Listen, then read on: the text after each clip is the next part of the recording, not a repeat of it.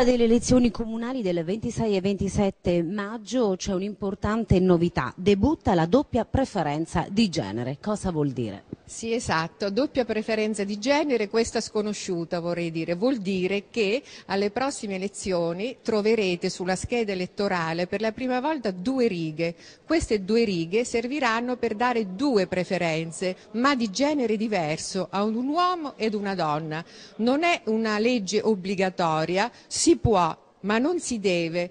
Secondo noi eh, si deve però perché per favorire la democrazia paritaria, non a favore delle donne, ma proprio a favore della democrazia. Molti interpretano questa legge come un privilegio per le donne, ma noi vogliamo ribadire, voglio ribadire che questa legge è una democrazia in quanto le donne hanno acquistato il diritto di voto dal 1946 e fino al 2001 avevano soltanto il 10% di rappresentanza. Questo è uno strumento, questa legge è un nuovo strumento strumento che servirà, non sappiamo quando sarà fondamentale, sarà sicuramente migliorabile, in questa fase elettorale è uno, è uno sperimento, vedremo che risultati avrà, però invitiamo soprattutto le donne a votare donne e a sapere soprattutto che quelle due righe non sono per commenti come qualcuno ha voluto dire, ma sono per scrivere due nomi diversi. Nei comuni sopra a 5.000 abitanti si potrà votare con la doppia preferenza di genere.